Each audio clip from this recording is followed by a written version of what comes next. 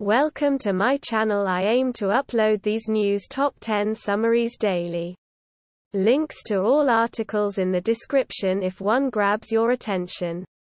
From iNews under the main headline of thousands of Mariupol residents have been forcibly deported to Russia. Ukrainian officials say. Summary of headline article Ukrainian officials are growing increasingly concerned for the safety of several thousand Mariupol residents who they say have been forcibly deported from the besieged city to Russia. In a telegram post, Muz Denisova wrote, In recent days, several thousand Mariupol residents have been deported to Russia. She added, it is known that the captured Mariupol residents were taken to filtration camps, where the occupiers checked people's phones and documents. After the inspection, some Mariupol residents were transported to Taganrog and from there sent by rail to various economically depressed cities in Russia. See more Hashtag Mariupol City Council informed that thousands of Hashtag Ukraine citizens from the captured parts of Mariupol have been forcibly interned to filtration camps and then to remote villages in Hashtag Russia. From Metro under the main headline of Man arrested for murder after student. 19. Found dead at London Uni Halls. Summary of headline article Sabita Thanwani was found dead at student accommodation in Clerkenwell. Picture. PA. Met Police. A man has been accused of murder after a teenager died at student accommodation in central London. This weekend, Ma Marufe, 22, was arrested by police investigating the death of Sabita Thanwani, 19, in Sebastian Street. Clerkenwell. They attended along with medics to find that she had suffered serious neck injuries but, despite their efforts, she was pronounced dead at the scene. Detective Chief Inspector Linda Bradley, who has been leading the investigation, said, I would like to thank everyone for publicizing and sharing our appeal to trace Marufe. Muz Thanwani had serious neck injuries.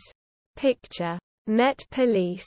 Sabita's family have been updated with this development and continue to be supported by specially trained officers.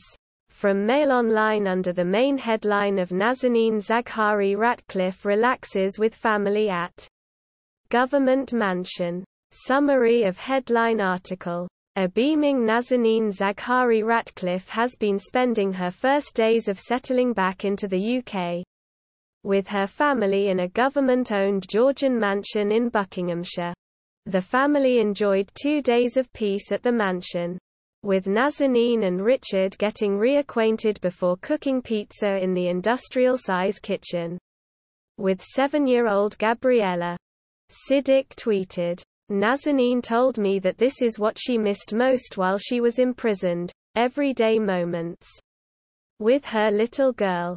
You smell nice, Gabriella told her mummy. Dissipating the tension as only a child can. Before Nazanin replied, Do I? The single-episode documentary, called Nazanin, follows the life of Mr. Ratcliffe as he balanced a political campaign with raising Gabriella. From Metro under the main headline of Rishi Sunak hints he could slash taxes and fuel duty in Spring Statement. Summary of headline article. Millions of households face a spike in energy costs as living costs increase. Picture. PA. Rishi Sunak says he is on a mission to cut taxes amid the spiraling cost of living. The Chancellor will face a grilling on Wednesday when he delivers his spring statement in the House of Commons. He has been urged by opposition parties and Tory backbenchers to slash taxes and cut fuel duty by up to 5p. He told the Mail on Sunday. My priority over the rest of this parliament is to cut people's taxes.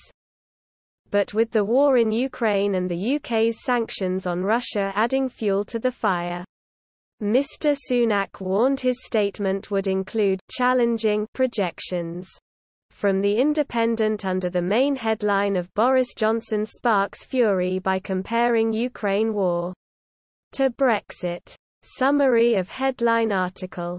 Boris. Your words offend Ukrainians. The British and Common Sense. Live updates. Zelensky suspends parties with Russian links show all 16 and a 16th live updates. Zelensky suspends parties with Russian links live updates. Zelensky suspends parties with Russian links Russia-Ukraine war Russia-Ukraine war live updates. Zelensky suspends parties with Russian links APTOPIX Russia-Ukraine war APTOPIX Russia-Ukraine war. Copyright 2022 The Associated Press. Live updates Zelensky suspends parties with Russian links Switzerland Russia Ukraine war Switzerland Russia. Ukraine war live updates. Zelensky suspends parties with Russian links APTOPIX Russia Ukraine war APTOPIX Russia Ukraine war. Copyright 2022 The Associated Press. Live updates Zelensky suspends parties with Russian links Russia-Ukraine war Russia-Ukraine war Copyright 2022. The Associated Press. Live updates. Zelensky suspends parties with Russian links Russia-Ukraine war Russia-Ukraine war Copyright 2022. The Associated Press.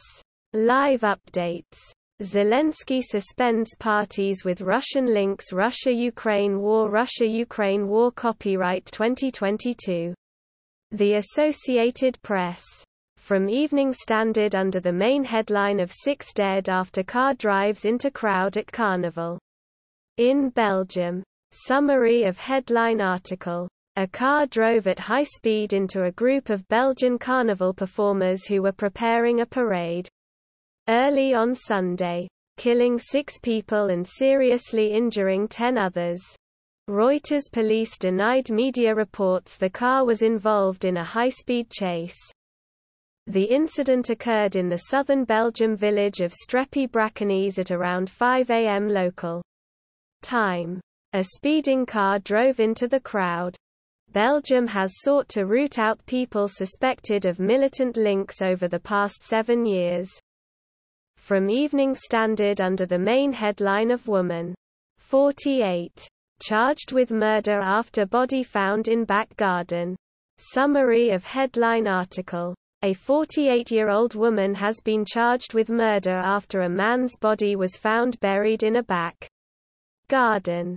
Fiona Beale was arrested at a hotel in Cumbria shortly after midnight on Wednesday after Northamptonshire police launched a homicide investigation. The force said the body, believed to be that of a 42-year-old missing man, was found in the garden of a house in Northampton on Saturday afternoon after they were called to an address in Moore Street, Kingsley. On Sunday, two police officers guarded the door of the property, with a forensics team going in and out of the house. Police said the remains are expected to be taken to Leicester where they will be forensically examined by a Home Office pathologist. From Daily Mirror under the main headline of FA Cup semi-final draw in full is Liverpool. Chelsea and Man City learn fate. Summary of headline article. The FA Cup semi-final draw took place before Nottingham Forest and Liverpool's quarter-final tie with Chelsea, Crystal Palace and Manchester City already in the pot the draw for the FA Cup semi-finals has concluded with Manchester City set to face either Liverpool or Nottingham Forest and Chelsea due to take on Crystal Palace over the weekend of Saturday 16 and Sunday 17 April. Thomas Tuchel's Blues are hoping to fare better on their return to Wembley Stadium having lost their last two FA Cup semi-finals to Arsenal and Leicester. City joined Chelsea and Palace in the semi-finals with a victory over Southampton later on Sunday afternoon. The semi-final draw was conducted by Anfield legend Robbie Fowler, who won the FA Cup in 2001. Ahead of Nottingham Forest and Liverpool's quarter-final clash at the City Ground on Sunday evening. Who will win the FA Cup this season? From The Guardian under the main headline of Russia-Ukraine war. 56 elderly people killed by Russian forces. Official says. Zelensky compares Russian offensive to Nazi Germany. Live. Summary of headline article. 108 Australia has banned the sale of alumina and aluminium ores to Russia in response to what it described as unrelenting and illegal aggression towards Ukraine.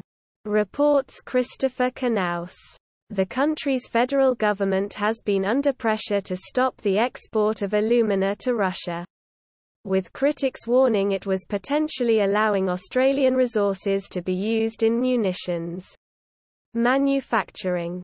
The government overnight announced it was ceasing all exports of alumina and aluminum ores including bauxite, to limit Russia's ability to produce aluminium. A major Russian export and a critical component in arms and munitions.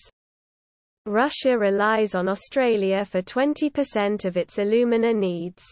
From The Independent under the main headline of Kinzhal missile, the hypersonic weapon Russia used for the first time in Ukraine. Summary of headline article Russia's military has claimed to have fired a hypersonic ballistic missile to destroy a large weapons depot in Ukraine. Ukraine's Air Force confirmed a Russian missile strike in the Ivano-Frankivsk region but did not clarify the weapons used. What is a hypersonic missile? The Royal Navy and French Navy have been developing a hypersonic missile of their own since 2011 and it is expected to enter service in eight years. Whilst seemingly using the Kinzhal for the first time. Russia has used an array of weapons against Ukraine during the war. Many thanks for watching. Please don't forget to subscribe and click the bell to get your daily notifications. Have a great day thank you for your support goodbye.